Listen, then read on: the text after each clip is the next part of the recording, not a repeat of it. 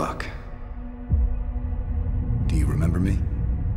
Your mom's name was Sarah. You used to wear newspapers in your shoes. You're a wanted man. I don't do that anymore. Well, the people who think you did are coming right now. And they're not planning on taking you alive.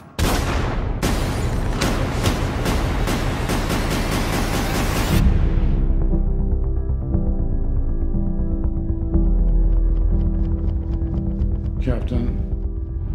While a great many people see you as a hero, there are some who'd prefer the word vigilante.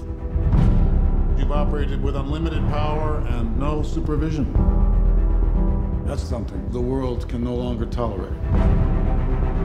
I know how much Bucky means to you. Stay out of this one. Please. You'll only make this worse. You saying you'll arrest me? There will be consequences. Captain, you seem a little defensive. Well, it's been a long day. If we can't accept limitations, we're no better than bad guys. That's not the way I see it. Sometimes I want to punch you in your perfect teeth.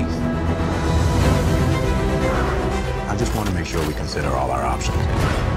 Because people that shoot at you usually wind up shooting at me, too. You know what's about to happen. Do you really want to punch your way out of this? What do we do? We fight.